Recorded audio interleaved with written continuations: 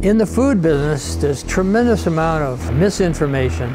I mean, if you want to feed your family healthy food, you got to ask a lot of questions. One of the downsides of the faster, cheaper model is that oftentimes you just can't afford to do everything as right as you should. We're taking the nutrients from this soil and we're shipping it far away and it's not going to come back.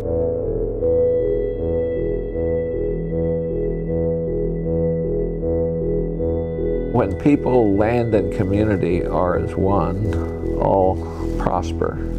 When regarded as competing, all suffer.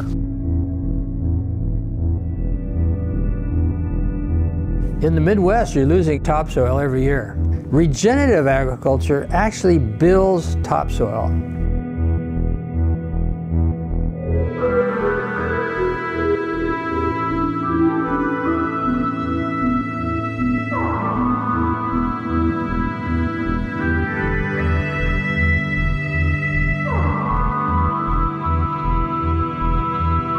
Revolutions start from the bottom.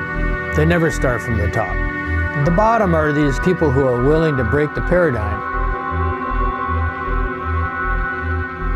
Putting this small group together, all believing in the same thing, all going in one direction. You can't believe what we could accomplish with that.